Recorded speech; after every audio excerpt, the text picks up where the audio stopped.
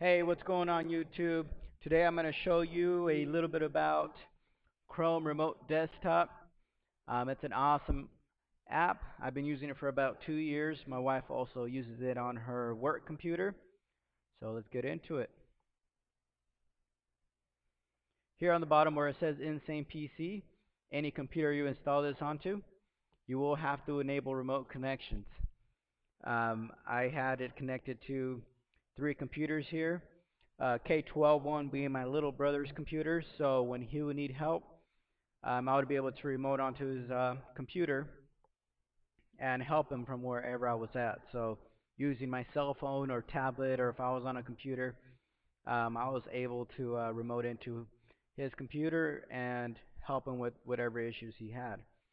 Um, so that came in very handy. So I'm going to go ahead and remote into this other PC here.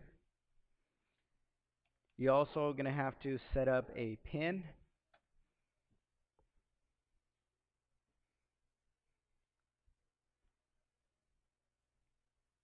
I'm sorry about my internet. My internet at this location is very slow. It's like AT&T DSL or something. So, okay, so here we are. We're in the other computer, which is about 15 miles away. And usually I use uh, this computer to uh, monitor some surveillance cameras. I have uh, Blue Iris on here. I also use uh, Sight Sound Video, um, which is very, uh, I think it's a very good app. So yeah, you can go onto this computer and you know look up anything. Alright, so how to install it. So I'm going to go onto the Firefox one. Even though I'm supposed to be on the Chrome, I'll do Chrome. Alright, so we're going to Google Google Google Remote Desktop. Let's see what comes up there. So you're going to select the first one.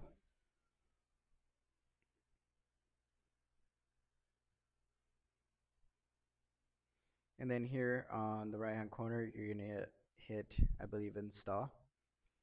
And once it's installed, you'll be able to uh, hit launch app.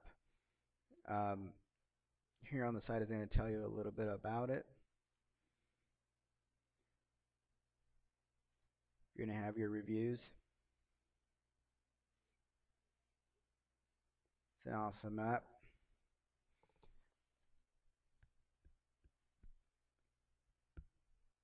So I think I covered pretty much all of it.